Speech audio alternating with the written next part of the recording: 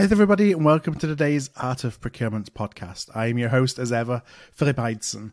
And on the show today, I actually welcome two guests. I welcome Geraldine Craven, who is the head of research at Procurement Leaders, and David Rae, who is Procurement Leaders' chief product officer. And in today's pod, we dig into a recently published study that procurement leaders undertook in cooperation with Bain Consulting to understand what is changing for procurement as 2020 approaches and what is staying the same.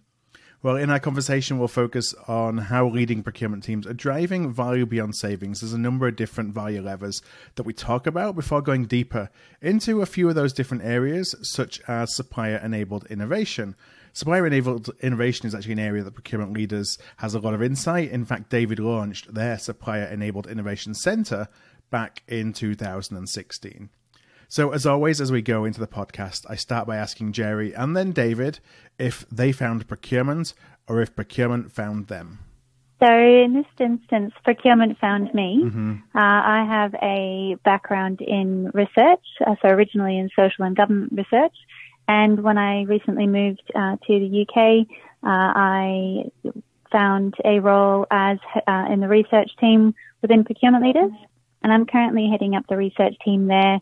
So using traditional research methods, yeah. Uh, but really focusing on the um, the procurement industry specifically and uh, what's in store for the future. Okay, and how long have you been around the procurement community now? So I've been with procurement leaders for just under a year, so still very new to the industry mm-hmm. uh, and still learning a lot.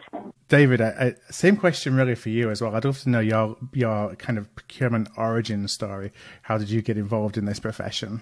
Sure, yeah. So I guess um, procurement also found me, mm-hmm. um, but it was quite a long time ago. It was um, getting on for 12 years ago now that that, that, that it found me. I, I, came from a journalist background, um, but I did a lot of work in in the finance world. I, I, I reported on the financial markets and reported on issues for chief financial officers. Um, also had a stint in the technology world, so I was um, reporting and writing for um, a series of technology and, and technology titles and yeah. telecoms titles.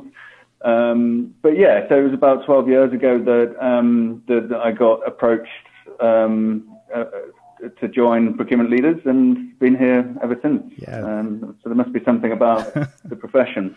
It's one of those things like um, I would say 99% of the people that I talk to, you know, whether it's through the podcast or I'm often asking the question just offline. And I think we're all in the same boat. I was exactly the same as well. It's one of those things where you, you often, you know, you don't really know what procurement is and you find yourself there and all of a sudden you're taken by, um, um, you know, having such a good broad perspective, I think, of the business for me. That was one of the attractions. Um, that you don't necessarily get in other places. Yeah, the the other question I quite like is um, would you recommend a career in mm-hmm. procurement to your kids? I mean, that's always a good one as well. So, so what's your answer to that one then? Um, I think I would. You know, we will get on probably later to to you know some challenges to that statement, but yeah. I think it's diverse and interesting if you get to the right level in the right organisation. Um, so I want to dig into the um, the 2020 CPO planning guide that um, you recently published.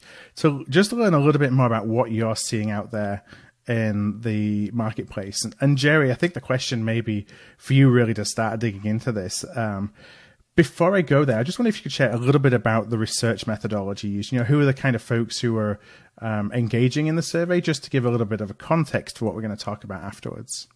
Yes, so we partnered with Bain uh, in this instance to be able to broaden the network um, and make sure that we were really capturing a diverse range of um, industry, geography, and making sure that we were really connecting with CPOs right across the board.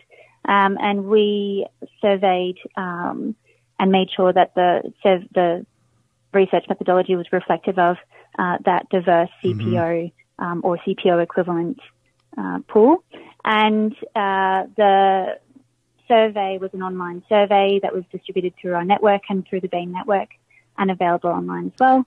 And um, we we also, um, in leading up to the survey, had undertaken quite a few qualitative interviews and discussion groups with our um, our network of, of membership, um, our members as well. and so the, ref- the results and the, the actual insights that are within the CPO planning guide are a reflection of not only the survey findings, but the conversations that we've had throughout the year as well, um, and and discussion groups that we've had mm-hmm. with our CPOs in the network as well. So it's a reflection on the topics that are really at the at the forefront of um, of their mind in terms of what they're planning for, um, but as well as the challenges that they're um, that they're having to manage um, going forward as well. And what were some of those key findings that came to the fore in the report? So the key findings really are the the need to connect better with um, the broader C C-suite agenda. So mm-hmm. really connecting as they're moving away from focusing solely on cost savings and recognizing they need to really change their value proposition and, and drive more other sources of value for the business. They're having to align more and more with um, what those other objectives are going to be, whether that's um, innovation and driving growth, or whether that's providing resilience and and and uh, protecting the organization. Um, whatever is the the primary goal or primary objective of the C-suite or the CEO, this is um, going to be the key focus going forward. And what we're going to see as a result of that is whereas procurement teams used to all be very much aligned and all uh, generally doing similar things to drive those cost savings, what we're actually starting to see is a bit more differentiation. Mm-hmm. Um, so those those organizations looking and focusing more on the customer experience or focusing more on innovation or more, or more on risk management are all going to be looking slightly different and having different focus areas means different activities to support that. Um, so we're, we're starting to see that, that little bit more differentiation actually between, um, between those agendas. And that's interesting to see, you know, that procurement isn't necessarily the, you know, one size fits all.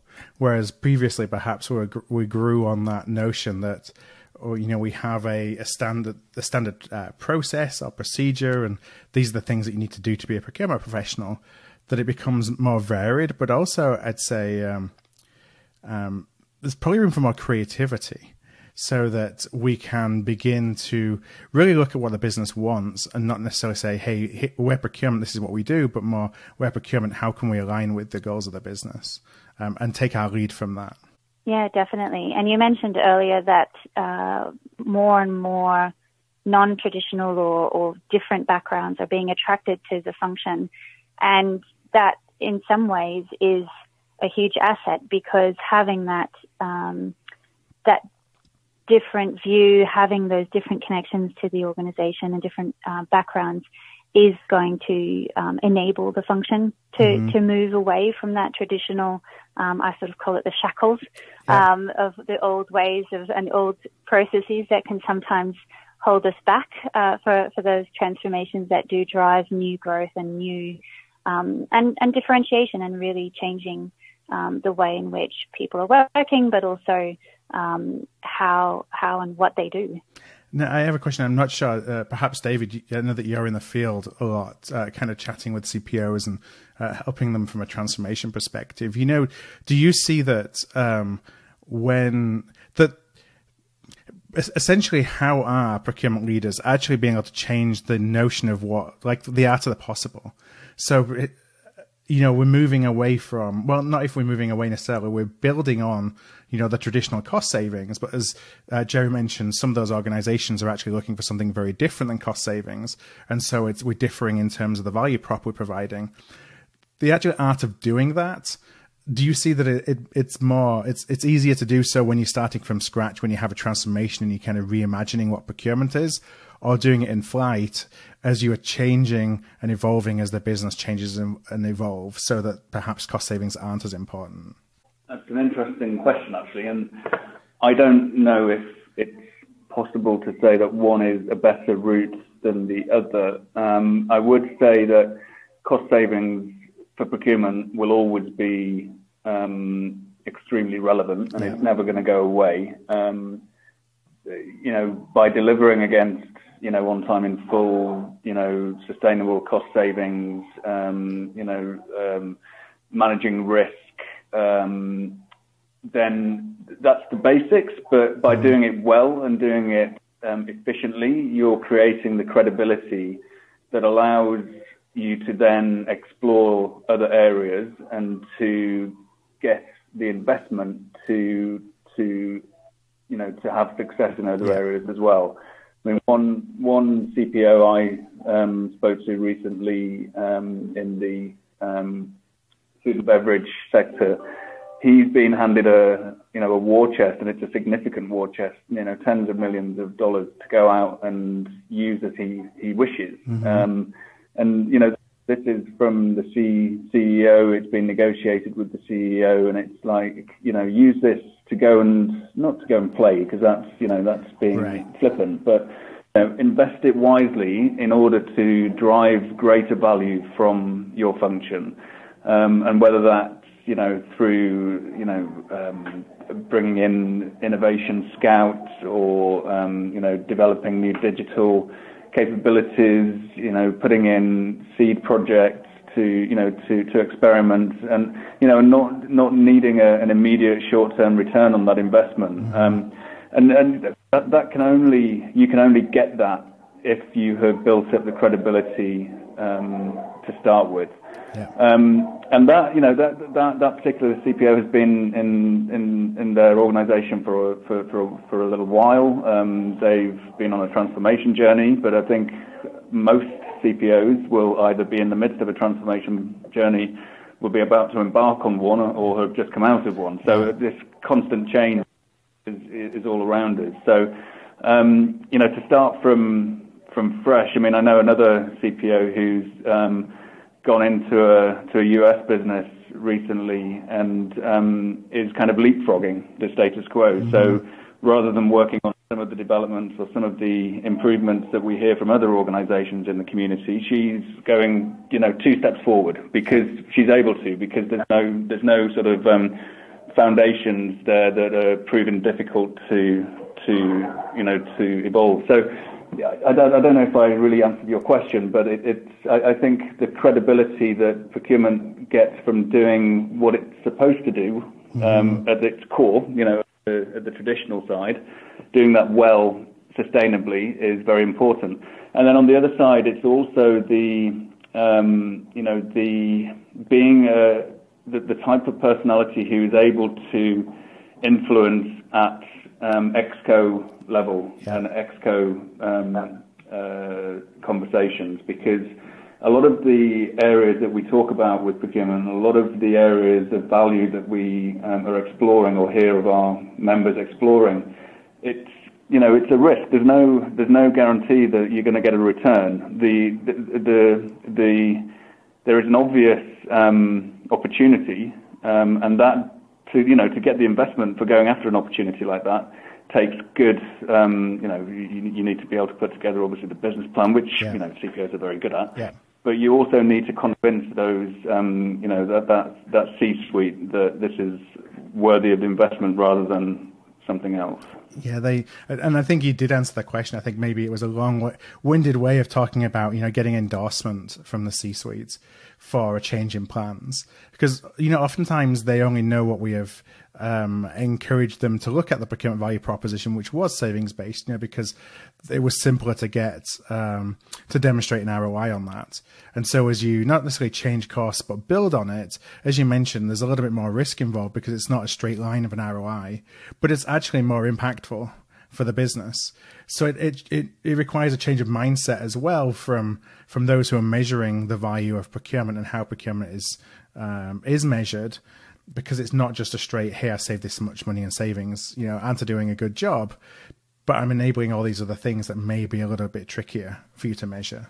Yeah, absolutely. And that's, I mean, I, I was um, very closely involved in the, the launch of the Supplier Enabled Innovation Center here. And when we set that up and when we started working with procurement functions, you know, proving ROI through investments in innovation from the supply base driven by procurement is almost impossible. And we've mm-hmm. talked to tens and hundreds of people about it.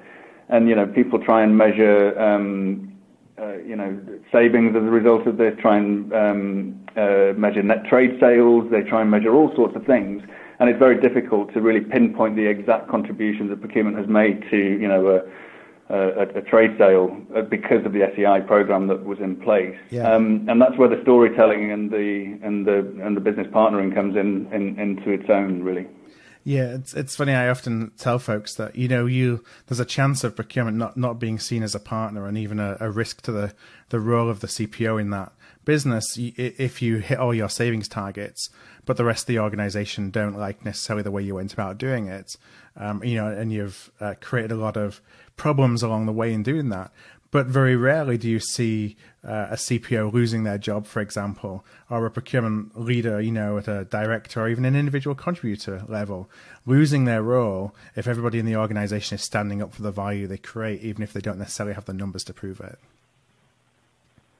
Yeah, yeah. Um, but then one day, um, at some point, those numbers will need to be proven. Mm-hmm. Um, you know, and, and, you know, it's kind of business cycles, isn't it? So it's yeah. easier to get investment yeah. for something in in the good times. But then the problem is, is if that number take or that investment gets taken away, you know, partway through a, a program before the return is realised, then that's not going to come back anytime soon. Yeah. What if you um, So you need to, be, yeah, yeah. So it's um it's in, it's it's an interesting um issue.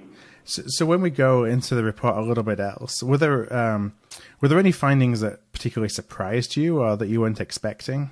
So I think one of the findings that surprised us a little bit is in relation to skills development and talent, mm-hmm. because as we go um, into a period of change and transformation, uh, one might expect that the types of skills that are required would, would look slightly different.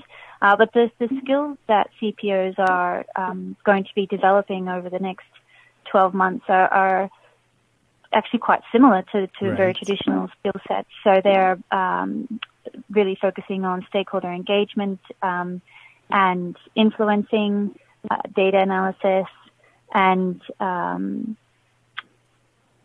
and all of these skills are really quite similar to those that have been used by procurement teams in the past. But the, the difference really is the way in which they're being used or the mm-hmm. focus and, and, how those skills are being used um, differently. The nature of data is changing. Um, so, and, and, quantity of data that yeah. uh, I suppose at our disposal to be able to leverage and, and solve problems um, and better interpret our either the supply chain or our market or our own spend and business. Um, so it's it's interesting to see that it's not necessarily a, a change in skill, but really a change of focus. Mm-hmm. Um, and being clear on what that focus is, being clear on those objectives, is what's going to enable our people um, and, and, and procurement teams to be able to then deliver on those objectives um, rather than necessarily a, a change in skill set. Uh, so one of the things that Geri mentioned there was about the changing nature of supplier relationships, and um, David, I know that that's something that you've been heavily involved in from the um, from the SEI at, at, Procurement Leaders. So I wonder if you could talk a little bit about, you know, how are our relationships with our suppliers changing, and you know, are you actually seeing that in practice? Um, yeah, it's it's a key area, and it's um, we are seeing it in practice. Yes, it's still not um, overly common. It's not something which you know there's a, a heck of a lot of best practice around, but um, it's a it's a key area. Procurement is to successfully evolve from um, you know its its its legacy to this uh, this position of you know real value creation beyond savings. Then the the, the relationships have to evolve um, as well we supplier relationship management SRM as a concept has been around for a long time, but we often hear that there's a lot more emphasis on the on the management side than the relationship side, and I think mm-hmm. this is um, this is true.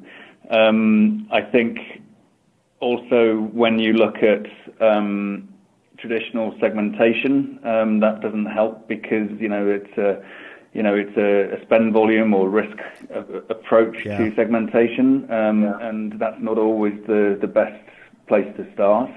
Um, I think, you know, driving a partnership approach to how you work with your strategic suppliers, and when, when I say strategic, I don't, I'm not basing that on a risk or spend mm-hmm. volume profile. Um, how, how do you work with those suppliers? How long-term are the agreements that you have in place with those suppliers?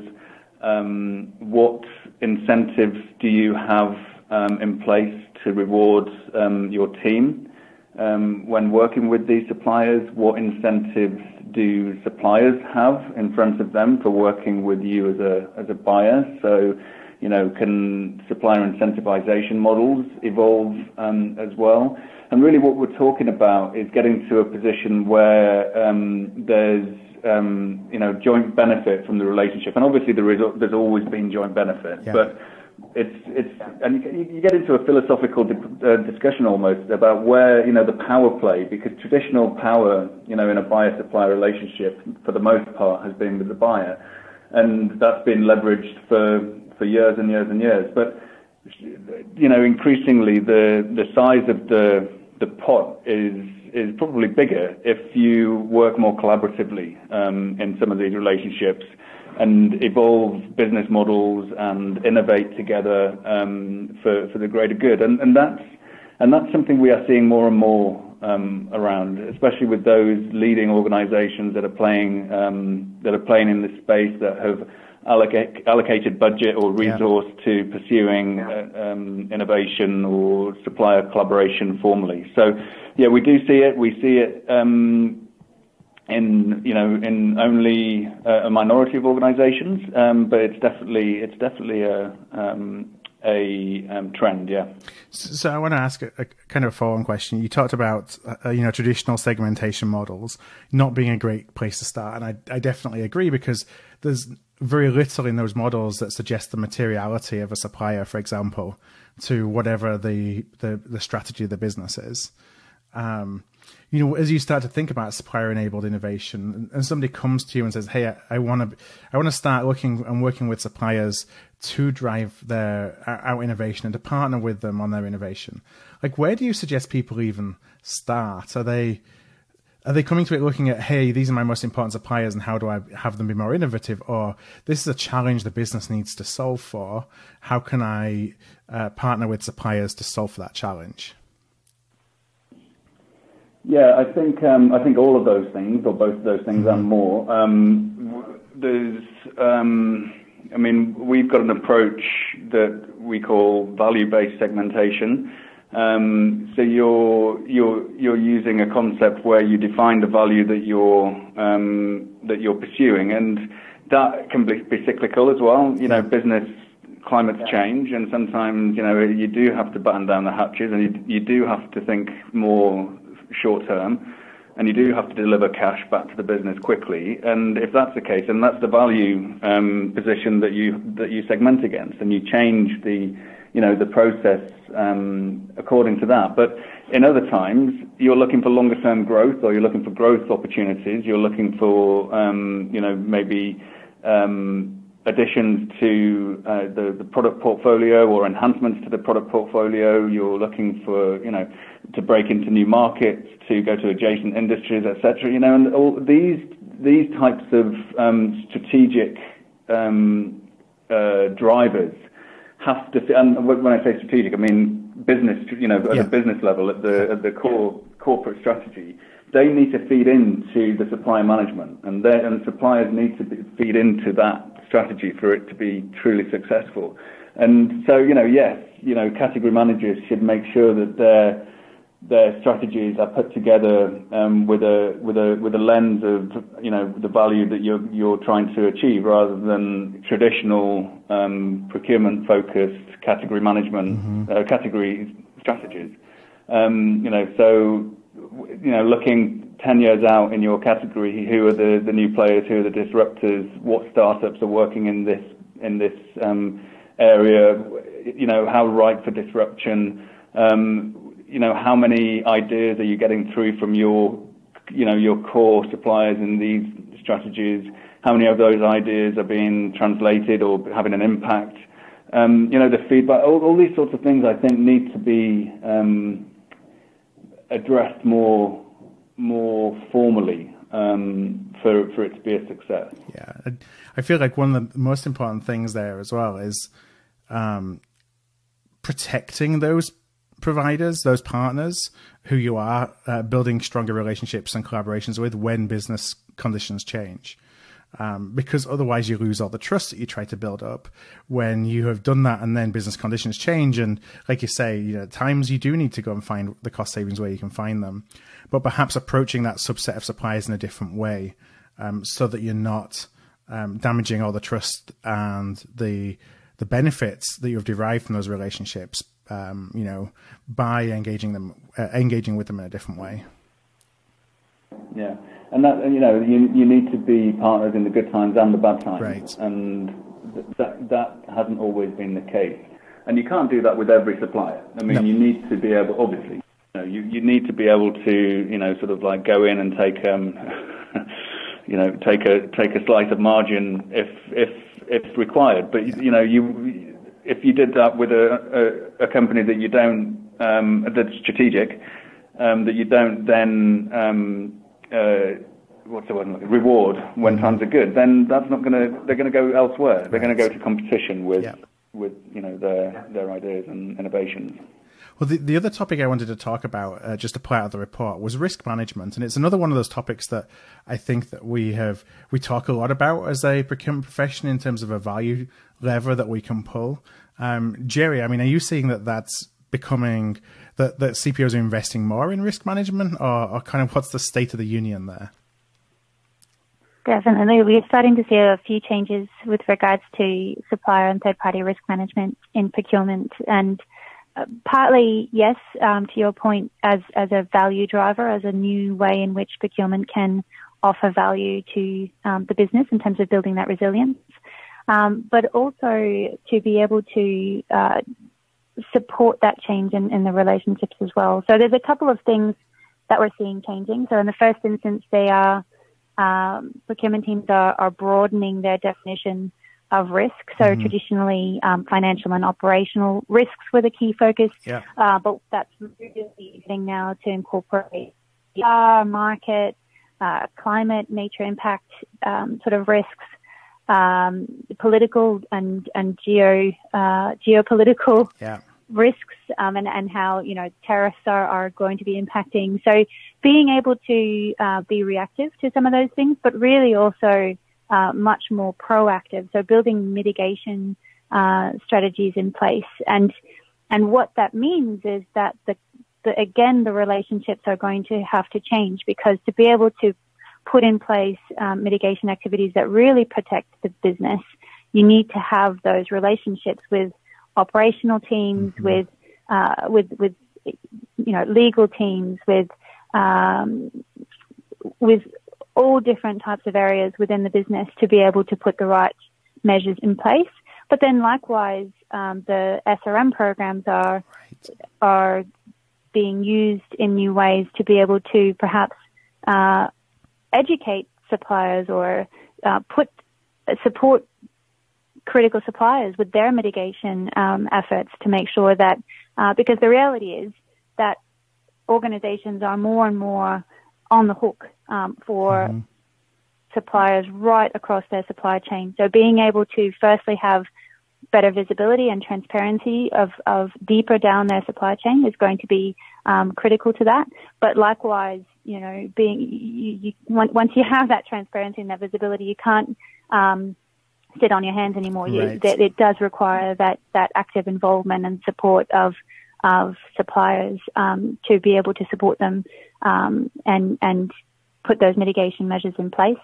Um, the other big change from a risk management perspective is data. Um, this is something an area where data is increasing. We see lots of new players in the market, um, either supplying third party data or even building platforms to use that data mm-hmm. to create that transparency um, and those real time alerts that um, we hear more and more uh, are, are, are entering procurement teams. Um, and what that means is that to be able to leverage all of the insight and the leverage that data, uh, the governance needs to be in place um, to be able to support that. So we're seeing some transformation uh, as well in, in terms of the way in which risk is being managed and um, and that all of that is creating more value.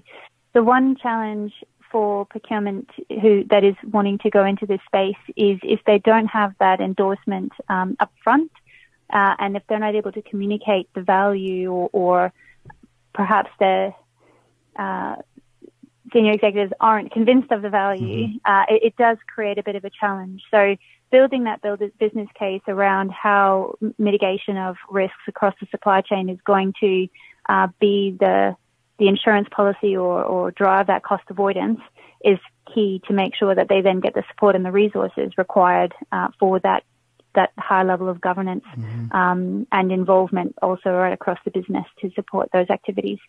Because realistically, if, if, if risk identification and assessment um, can only do so much. It's really right. those mitigation activities that are gonna that are gonna um, drive the value. Yeah, absolutely. And you know, you talked about suppliers being so important in that as well.